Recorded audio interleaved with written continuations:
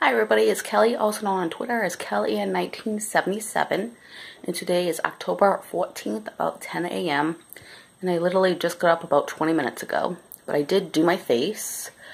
I did it with a toner, and I also put a new face cream on, so first thing in the morning, that's what I look like. And I'm going to turn you around so I can show you the October Glam bag today. This came in Saturday, so since my husband is now at school again, I can show it to you. So this is her face on it, and it has a bee, and this is actual metal, which I'm surprised. And then it's like sparkly. And what I received, of course, you always get the directions with tips but I received this. I can, okay. I got this, and this is the face cream. And it is supposed to add hydration to your face.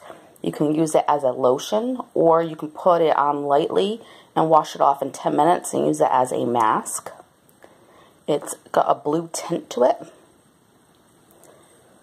And I picked that one out. That's the one I wanted. They sent me this, which is a serum that helps minimize fine lines around your eyes or your mouth. You can use this every day. I got this blush. I don't know if it's a regular blush or if it's like a bronzer. Um, I got one like this and I put it on and I was like, oh, that's not exactly for your eyes. It's a bronzer. But that's what it comes in. And then I got the Betty Boop mascara. So, um, I guess Betty Boop is now a makeup company. And uh, they sell the eyeliners, lipsticks, lip liners, mascara, etc. And then I got this gel ultra define liner for your eye. Um, I don't usually use gel around my eyes, so I probably would just give this away as a gift to somebody who I think will use it. And it's supposed to be a hunter green color. Now, along with this, other products from the Glam bag I have been using is I use this one about four times a week in the shower and it is to cleanse your pores and also to tighten your skin. This is a glow mask cleanser. You put it on, you work it in, and you rinse it off, and it works fantastic. I think I have like two applications left, and I've had this for two months. This I use once a week, and it is a Canadian gray clay mask. You work it into your face. It is a light gray color and um, it hardens on your face and then you wash it off in 10 minutes. And uh, I needed to get some pads and some cotton balls to use this one. But this one you put on after you wash your face. And it's made with salt water. And it is supposed to tone your skin naturally using the seawater. You shake it up and down really good to activate it. You put it on a cotton uh, makeup thing. You put it on your face for 30 seconds, work it in, wait 30 seconds, take a cotton ball, add water to it, wipe that over it, and it's supposed to activate the ingredients. So these four things are things that I do use throughout the week.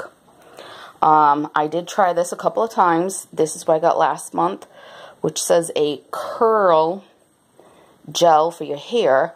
Um, so you can make curls with it and it's supposed to hold the curls all day. Or you can use it in damp hair to help with frizz control. So that's how I use it. And I don't need to use a lot. You can see this is not a huge bottle. And I still have a good amount. And then this is the lotion that I've been using just for my hands and arms now, since I have all this other stuff for my face. But I was briefly using it on my face. It smells great. I'm not sure if it moisturizes very well, but yep, that is the October Glam bag. Um, the Glam bag is now $12 instead of 10 and they have an ultra bag if you want to do that one. Again, I'm not sure how much that one is, but I know the Glam Plus bag is $25 now. And uh, each bag, you can choose one item that you're guaranteed to get. Everything else, you may get or you may not. So if they were out of the Betty Boop mascara, you might get a different kind of mascara from a different company. Um, but they really try to keep up with what the product is. Like, if you're going to get eyeshadow, they try not to give you blush kind of thing. So, uh, that is that. And we had a grandson over. We watched him Thursday. He slept over. We dropped him off Friday afternoon. We got him again Saturday at 1, and he got picked up yesterday at 10. So he had a fantastic time with his toy truck. Um, yesterday, I had enough energy to go ahead and do some housework. It really needed to be done. Uh, I got to clean out his playpen, but he's got all his little toys. Peppy just, you know, being Peppy. She's like, what? Leave me alone. I'm tired of babysat all weekend. So she got a little moody and she did not want to eat when he left yesterday. She actually ate at 5.30 at night. And then she wanted to eat again at 9.18, so I let her. But, uh, yeah, she gets a little emotional and then she doesn't want to eat when he leaves. And for those of you who do not know, my grandson is 17 months. Um, so he is learning how to balance properly. He can walk, but he does fall down. Um, and we let him play in the pots and pans down here. This doesn't turn on on the bottom. So he really enjoyed playing drums with that. Uh, so as you can see, we taped up these so that he can't get in there because we keep food, cleaning supplies and stuff in there. So we did that to try to keep him out of there because uh, these swell up in the summertime and you can't close them all the way. So there's really no way to put a latch on the inside of it. And I got this game for Switch yesterday. The first one, the theft one. Um, I know on Steam for PC, that is a $20 game. I got it for $1.35. I had 552 points. So every time you buy a game on Switch, you get points. Um, and I know they started this a while ago with the 3DS, because 3DS has a store, not the regular DS. And uh, it worked out pretty well. So with my points, that was $5.52 taken off, and then it was on sale for $6.79. And uh, I'm at a part with the lock, and I'm having a really hard time figuring out how to do it. It's very frustrating. And then I broke down and I got this one. Doraemon Story of Seasons. Um, this is a $50 game if anybody's interested. It reminds me of Rune Factory. I do believe they're using the same engine for Rune Factory 4. It looks just like it. A little, the character's a little cartoonish though. Um, and Doraemon is the blue cat who's a robot. And this is a Japanese cartoon for children um, that they decided to make a little story with. So the story of this is the boy to the left with the net needed to come up with a science project. He couldn't think of anything and he was running out of time. He found this seed that he'd never seen before outside, planted it, him and his friends, and it magically grew in front of their face. And then a storm came in and they went through a black hole and now they are in this land. Um, I kind of think this may be from the future and that he lives in the present. Um, and it's surrounded by a tree that's ancient and a goddess protects it. But only one lady can see this goddess, and she's very old, and her grandson thinks she's senile.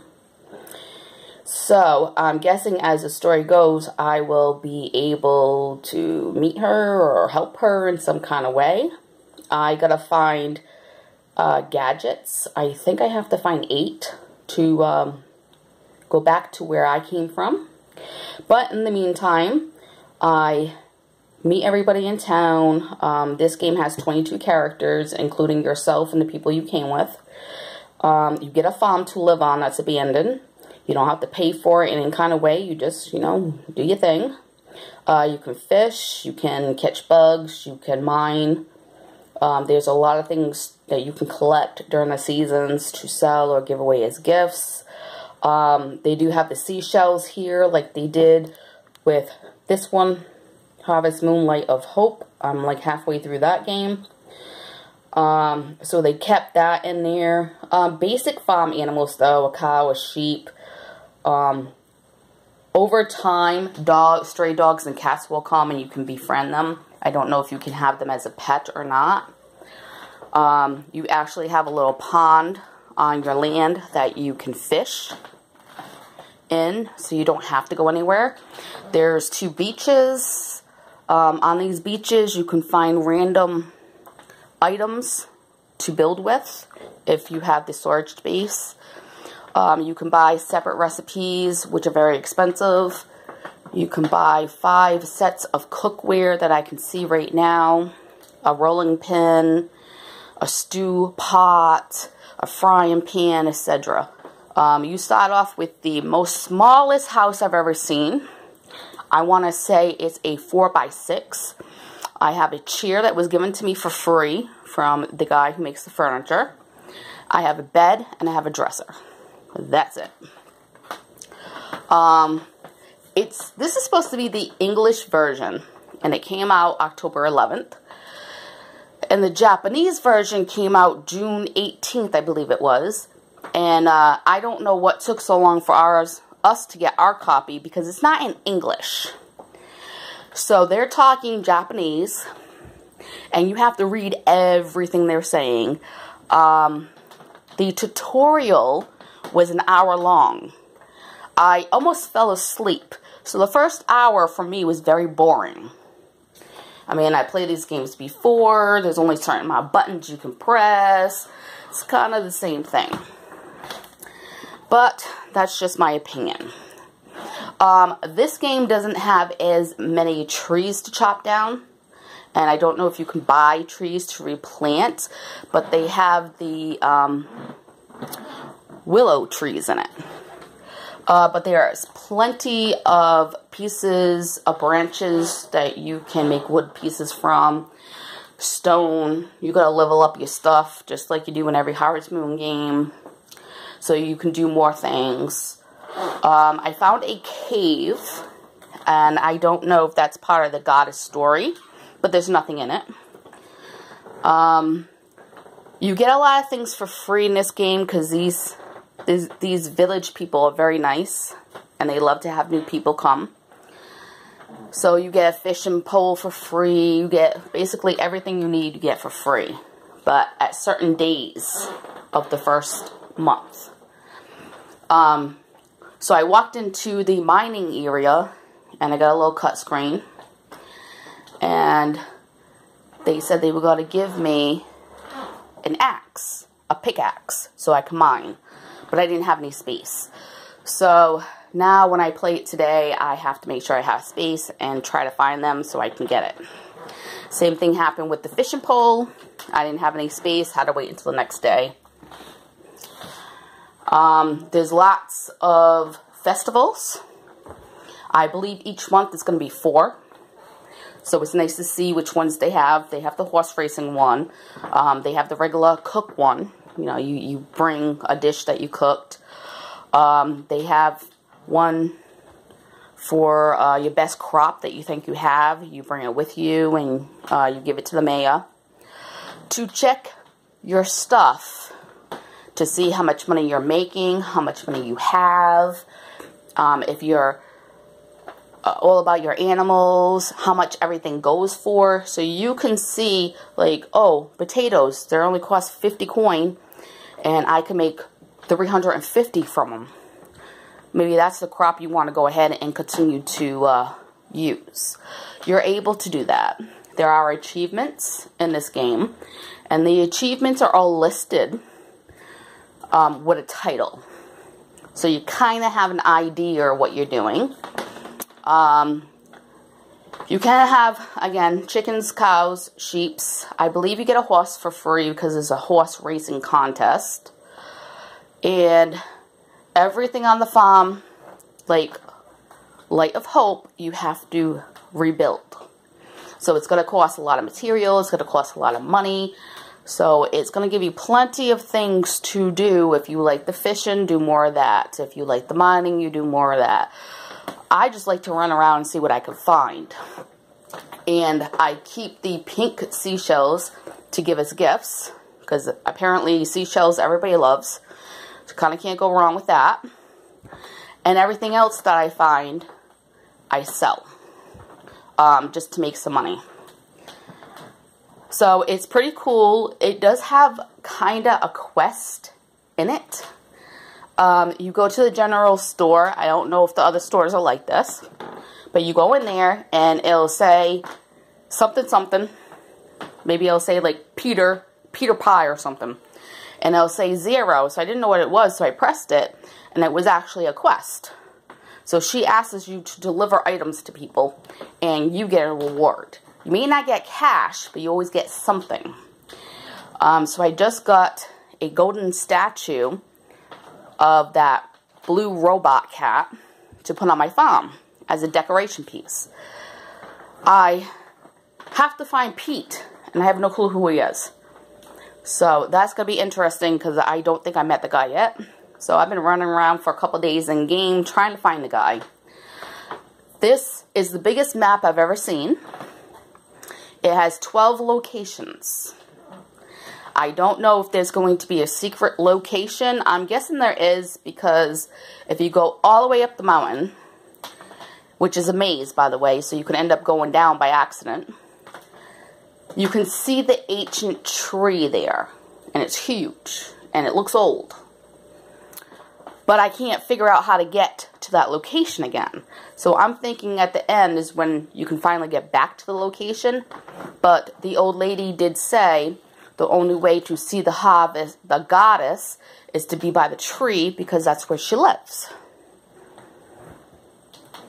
So that's a little confusing.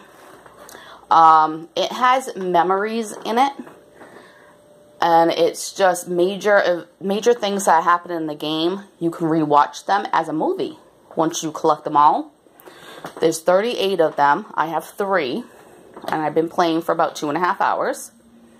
Um, I don't see any way to buy any clothing or make any clothing.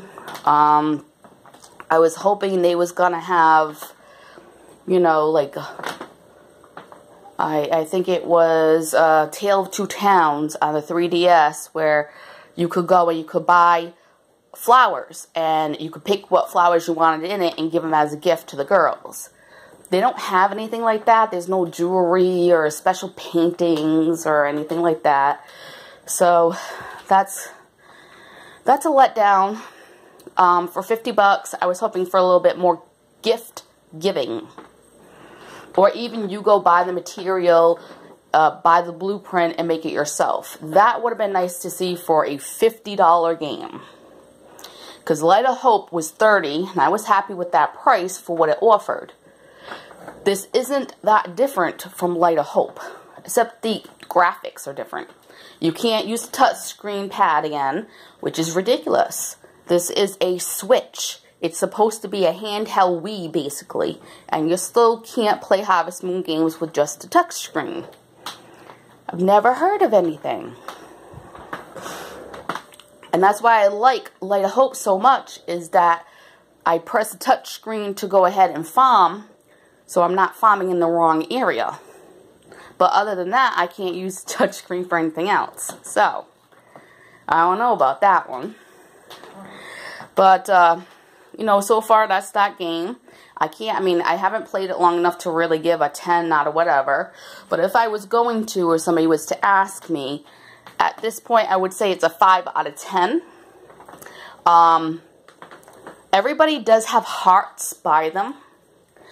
I'm not sure if you can romantically be with anybody because these are supposed to be like 14, maybe 13, 14 year olds. Um, I don't know if Japan would actually put something like that. Maybe not get married and have children, but uh, just like go on dates and stuff. So I'm not sure about that, but everybody does have a hot that you fill up.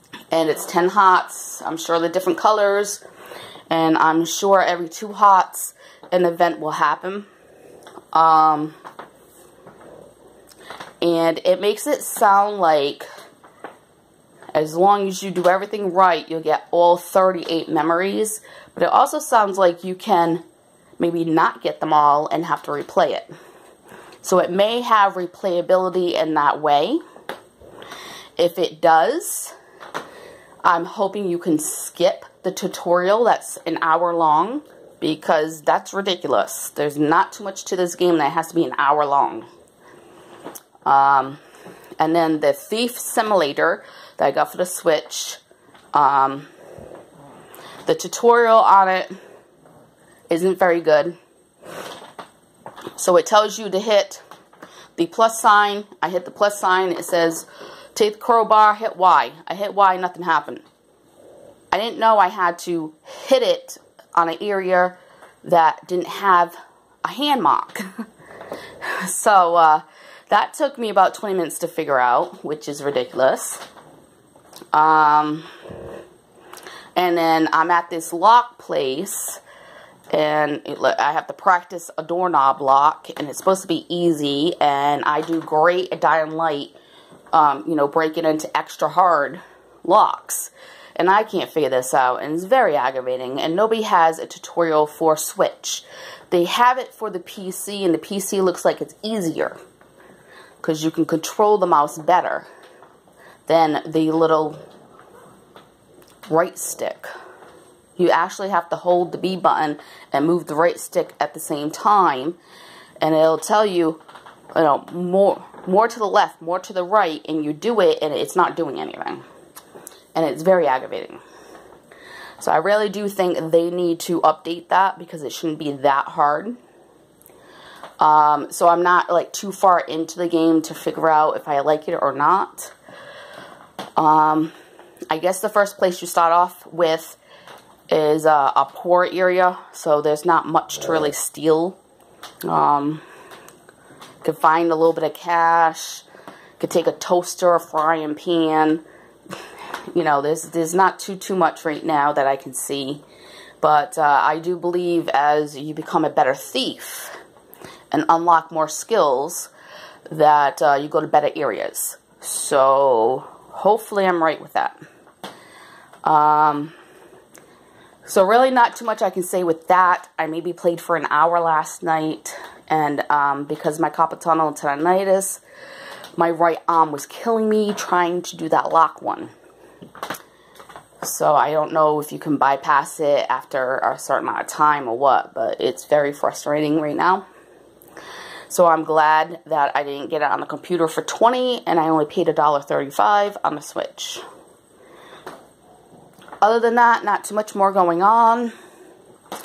Uh, my mother's going to come over for a couple hours tomorrow to see me. Um, I try to make my, I call them rounds, but I try to make my rounds on the weekend to call people. So I'll call my son one weekend, call my father one weekend, call my sister one weekend. And this way I am talking to everybody, but not for hours and hours at a time. And then I cat set for the landlord. So she'll be home sometime today.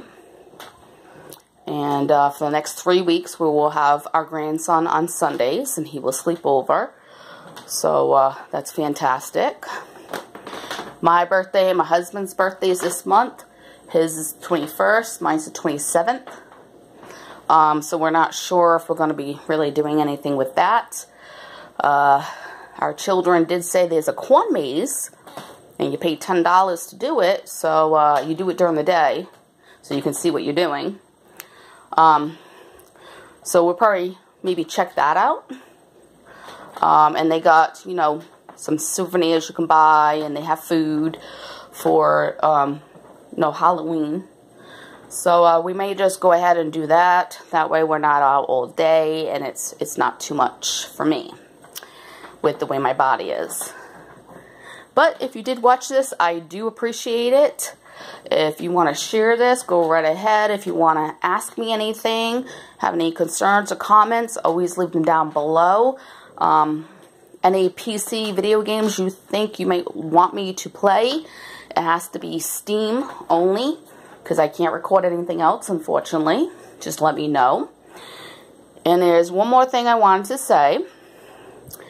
Yesterday, I forgot I had an ASMR video pre-recorded from a few weeks ago. So I posted it, and I had somebody go on there and be very rude to me. I want to say, if you don't like my videos, what I offer, please don't watch. But there is no need to go on there and be rude to somebody. That is trolling, and that is wrong. And YouTube really, really needs to crack down on that. What if I was very vulnerable? What if I was going through something and that pushed me over the edge to do something dumb? People need to be aware that you can't do this to people. If you walked up to somebody and said something rude and trolled them in person, you get punched in the face.